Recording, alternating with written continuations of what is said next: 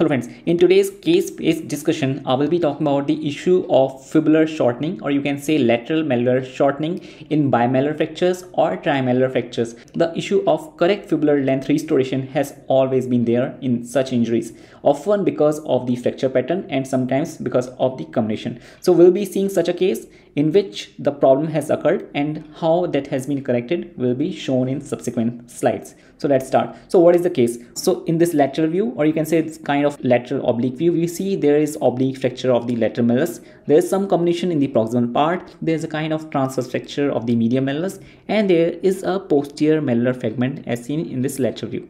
So this is a trimalleolar fracture in a simple language. But if we give a technical classification that will be according to Lauge-Hansen classification and this will be supination external rotation injury type 4. Why? Because there is a transverse fracture of medial malleolus and the fracture of the lateral malleolus is quite low and oblique in nature and the oblique fracture enters in the antero-inferior part of the lateral malleolus then goes proximally and there is a fracture of the malleolus or you can say Volkmann fragment as well.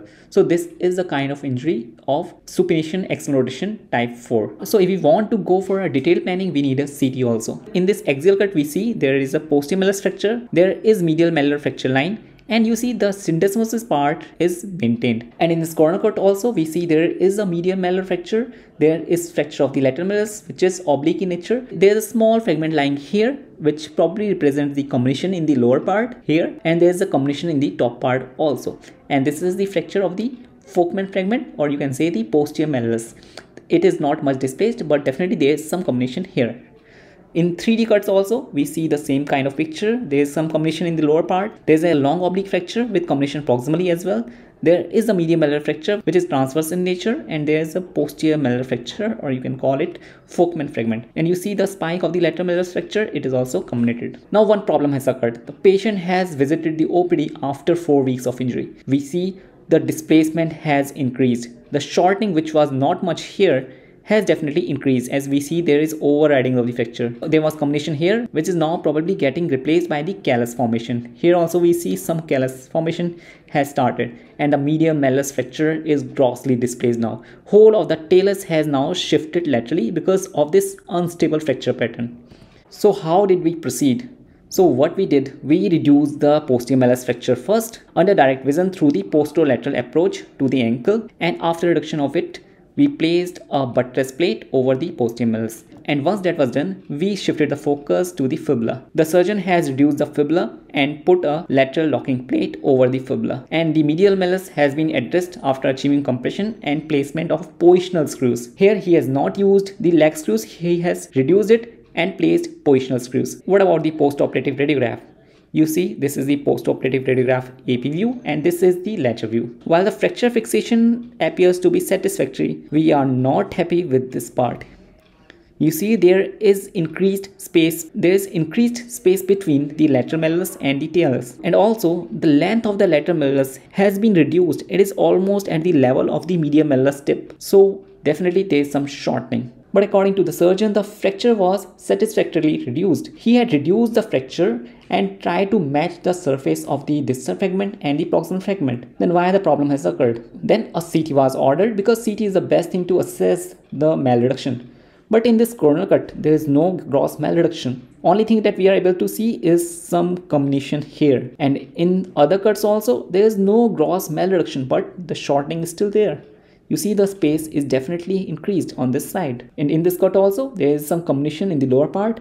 And in this 3D cut also, you see the plate position appears to be satisfactory. The surface appears to be somewhat satisfactorily reduced, but there is some comminution here in the terminal part of the fracture spike. So why the fibula has malreduced or shortened without showing much evidence in CT? Because there was comminution in the proximal part and there's some comminution in the distal part also which we have seen here. So comminution actually invites the shortening and the fracture pattern which is a long oblique one is definitely an unstable fracture pattern which will have tendency to go into shortening. So this can be cleared with this small diagram. You see this is fibula, this is the terminal fracture part having a long oblique fracture.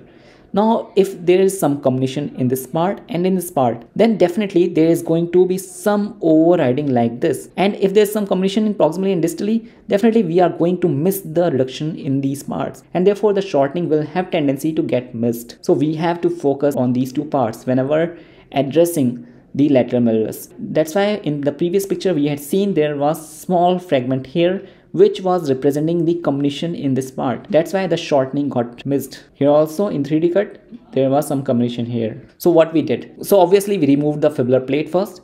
Then then we placed a joystick wire in the distal fragment, then tried to gain length. Since I've told you the comminution in this part can result in mismatch of the surfaces.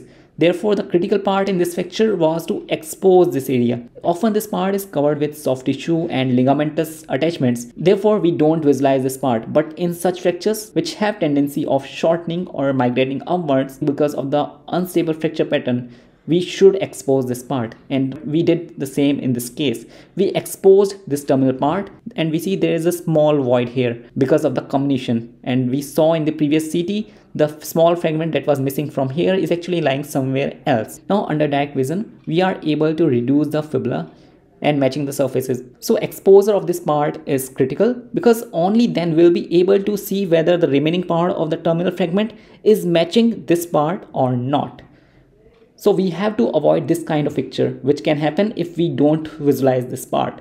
So always try to visualize this part whenever you are reducing the long oblique fracture of the lateral malleolus. But when we were trying to gain length, still we saw that some space was still there and we were not sure why it was happening. So what we did, we checked the opposite ankle fluoroscopic view intraoperatively. Then this space appeared to be normal. That's why it's important to see the other ankle also because there is huge variation in this alignment between talus and the lateral malleolus. And if we miss the opposite ankle radiograph, we are definitely going to struggle to reduce the fibula at a lower level which is probably not needed when the anatomical variation is like this. Now we are satisfied that the alignment is correct after comparing with the opposite ankle. But the surgeon can't hold the wire for so long because he has to place a plate also over the surface.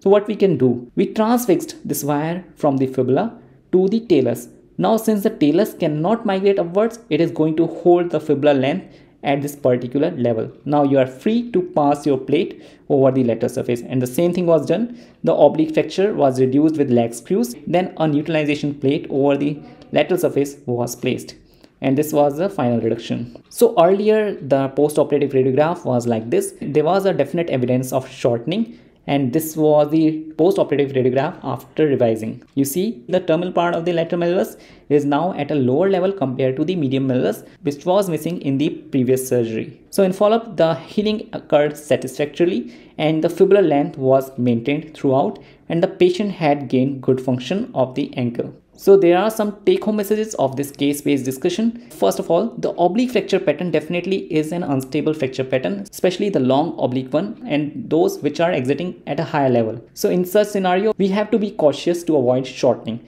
and the shortening risk increases with comminution especially when there is proximal as well as distal comminution and late presentation often makes things difficult so you have to be careful. You have to distract the distal fragment then only you will be able to reduce it to, to a proper length. And definitely a K-wire joystick can be helpful. You can use that K-wire to place the wire into the distal fragment and then transfix it to the talus. Opposite ankle radiograph is mandatory whenever you are addressing the shortening because that will act as a standard to which the proper length of the distal fibula needs to be restored. So I hope you have a good learning through this case based discussion. Thank you.